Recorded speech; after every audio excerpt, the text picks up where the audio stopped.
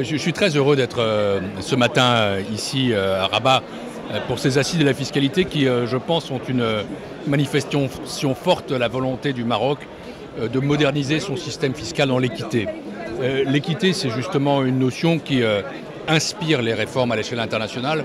Je ne suis pas venu là pour donner des leçons, mais pour présenter ce que fait l'Union européenne, qui a amélioré la transparence en matière fiscale, qui essaye de construire une convergence entre ses États membres et qui développe la coopération internationale. Et à cet égard, je veux me réjouir d'abord que les récents malentendus, les incompréhensions qui ont pu exister entre l'Union européenne et le Maroc soient vraiment derrière nous.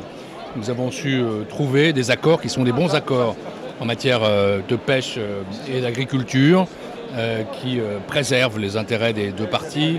Nous avons évité, à travers un travail commun, que le Maroc figure sur une liste noire une liste grise de paradis fiscaux. Ça n'est pas la place de l'économie marocaine.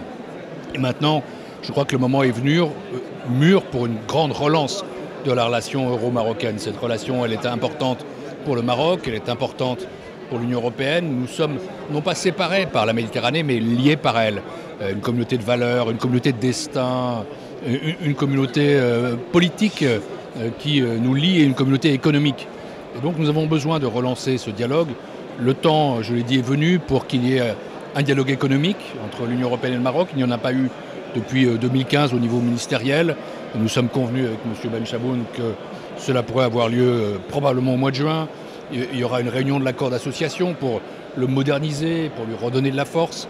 J'en ai parlé hier avec le ministre des Affaires étrangères, M. Bourita, et pourquoi pas, c'est mon rêve en tout cas, une visite ici du président de la commission d'ici à la fin du mandat de cette commission pour euh, transmettre le flambeau et faire en sorte que les prochaines années soient à la hauteur de ce que doit être euh, la relation euro-marocaine, c'est-à-dire vraiment au top.